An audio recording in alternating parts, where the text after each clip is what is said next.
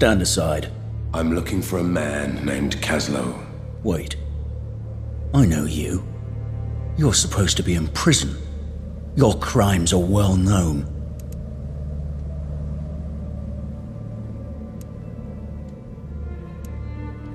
It's been a long time, Captain. You're an animal. You belong in a cage.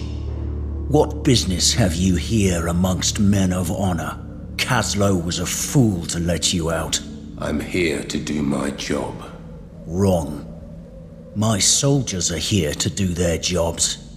You're here for yourself. For profit, I'll wager. You're only here because there's something in it for you. Believe what you want. Watch your back, Harkyn. I have business in the Citadel. Maybe Kaslo was roughed up too many times to trust you. But one look at you reminds me of what you are. I'm not letting you in. He's looking for the Rhogar's incursion point into the old monastery. Go to the graveyard. You've enemies here, and they are not all Rhogar. Now move, and steer well clear of me and my men.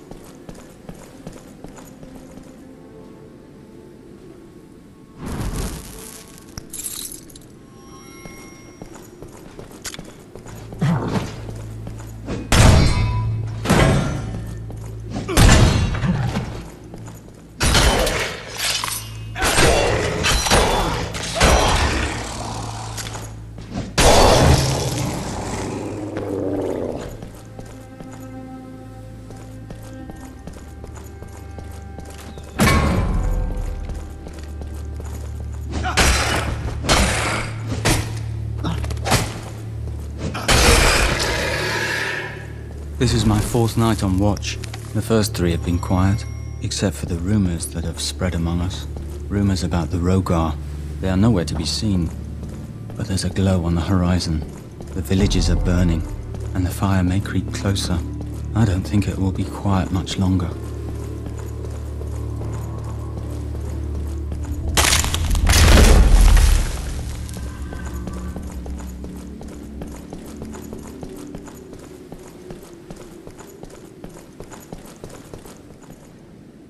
I must reach the signal tower on the other side of the graveyard. It's suicide, but... But I have no other choice. This is our only hope for help. If there is still a place that help can come from.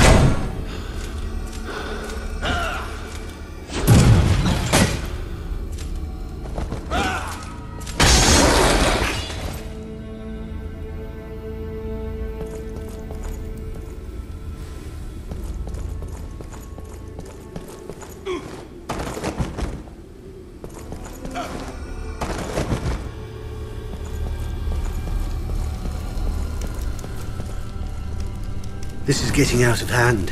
The villagers gather in front of the monastery and demand sanctuary. We can't let any more in. We will starve to death. Antanas ordered us to close the gate, and I understand his reasons, but these are people. He's supposed to be the savior.